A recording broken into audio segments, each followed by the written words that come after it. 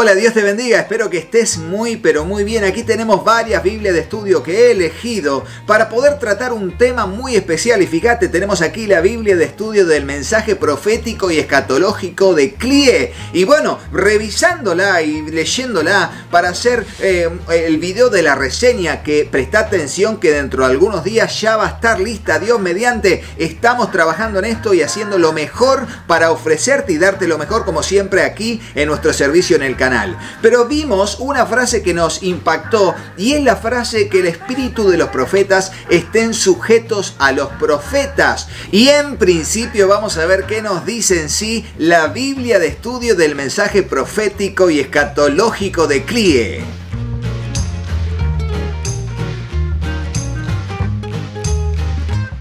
Y el versículo que estamos aquí para ver con ustedes tiene que ver con lo que dice el capítulo 14, versículo 32, que dice, y los espíritus de los profetas estén sometidos a los profetas. Esta es la versión de la Reina Valera revisada que así lo expresa. Y lo que va a decir el comentario de este versículo es lo siguiente espíritus de los profetas. Bajo la pluralidad de los espíritus no es preciso entender aquí naturalezas independientes, ni al Espíritu Santo, ni a otros espíritus. Se refiere más bien a los órganos del hombre que bajo aquel influjo entran en acción. Tales espíritus, entre comillas, pueden oponerse entre sí y alzarse unos contra otros, no porque la palabra de Dios llegue inmediatamente hasta ellos, sino porque el elemento humano desempeña aquí un gran papel. Lo que procede de Dios solo puede proporcionar unidad,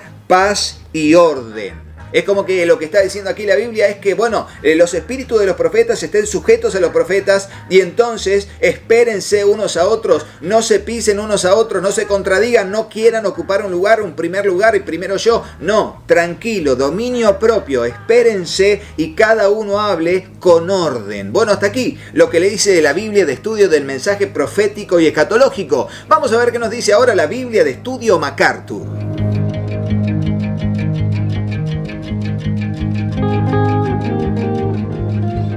Y aquí tenemos la Biblia de estudio John MacArthur, versión Reina Valera 60, y dice el versículo 32, y los espíritus de los profetas están sujetos a los profetas.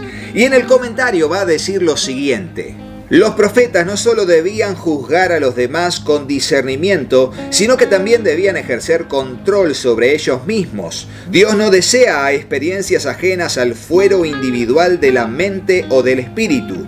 Aquellos que recibían y proclamaban la verdad debían tener una mente clara. Recibir y predicar la palabra de Dios no debía ser una experiencia desvariada, frenética o extática como era el caso de las personas que aceptaban la influencia de demonios. Tremendo lo que dice John MacArthur con respecto a este pasaje. Vamos a ver qué nos dice ahora la Biblia de estudio Holman.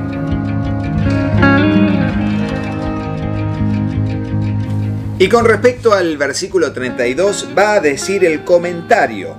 La recomendación de Pablo a quienes tenían el don de profecía de turnarse para hablar y luego esperar la evaluación de los presentes indica que en este contexto profecía no se usa en el sentido de predecir el futuro. ¿eh? Y dice después que Dios no origina confusión en un culto de adoración. Y fíjense cómo la, idea clara con respecto a esto tiene que ver con que las personas debían hacerlo en orden, en orden. Y esto de los espíritus de los sujetas se sujeten a los profetas es, por favor, respétense unos a otros y frenen un poco su reacción de querer hablar superponiéndose a los demás. Y eso está muy, pero muy bueno. Vamos a ver qué nos dice ahora la Biblia de estudio Vida Plena.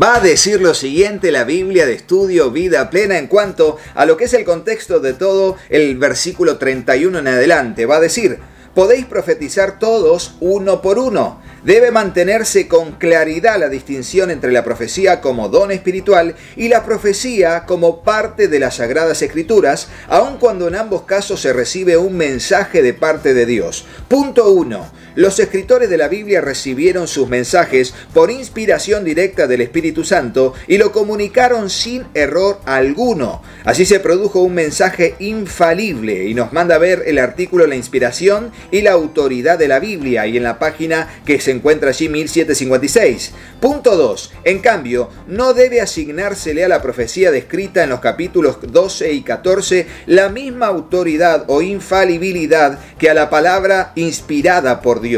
Aunque venga por el impulso del Espíritu, jamás debe considerarse infalible esa clase de profecía. El mensaje que contiene está siempre sujeto a la confusión y al error humanos. Por eso nunca debe ponerse en el mismo nivel la profecía actual con las escrituras. Además, la iglesia local no debe aceptar la profecía actual hasta que los demás creyentes juzguen el contenido del mensaje a fin de determinar si tiene validez.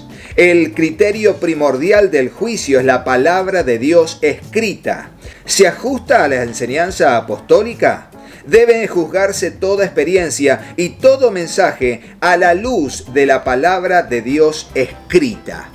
Qué tremendo, qué tremendo, ¿no? Y aquí, obviamente, como es una Biblia pentecostal, de denominación pentecostal, esta Biblia cree y enfatiza que hoy en día pueden levantarse personas que, inspiradas por el Espíritu Santo, pueden dar un mensaje profético a la congregación. Aún así, todo tiene que estar cotejado y evaluado a la luz de la palabra de Dios. Vamos a ver qué nos dice ahora la Biblia de estudio teológico.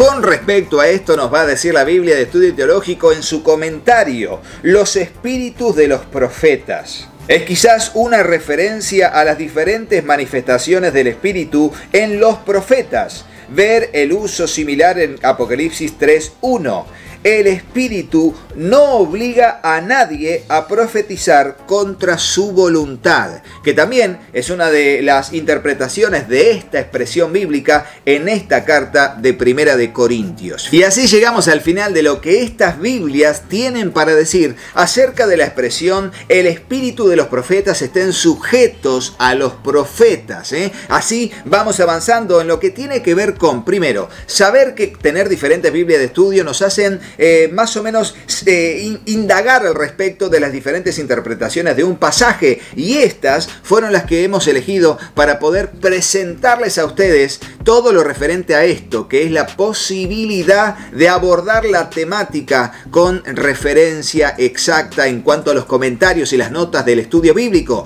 Recuerden que pueden ver las reseñas de todas estas Biblias y muchas más en la lista de reproducción llamada Biblias de Estudio Recomendadas. Ahí estamos avanzando al respecto para que puedan conocer todas las Biblias de estudio que pueden haber. Y también están las Biblias de estudio sobre temas específicos, que es otra lista de reproducción.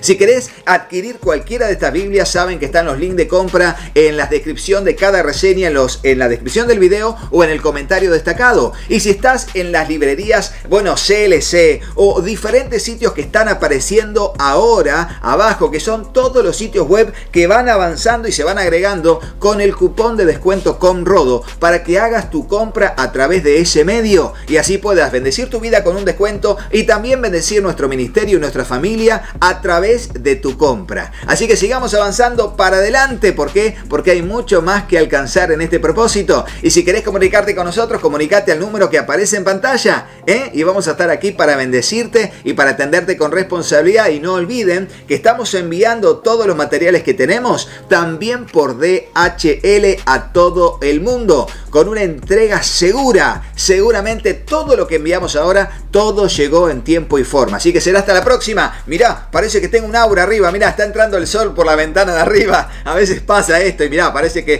tengo una teofanía atrás mío. Tremendo. Bueno, no te vayas de este video sin hacerle caso a mis hijos. Hola, yo soy Katy. Si te gustó el video, ponle me gusta y déjanos un comentario. Hola, yo soy Juanpi. Suscríbete al canal y activa la campanita. Y acordate de compartirlo con tus amigos. Que Dios los bendiga muchísimo. Y hasta el próximo video. Chao, chao.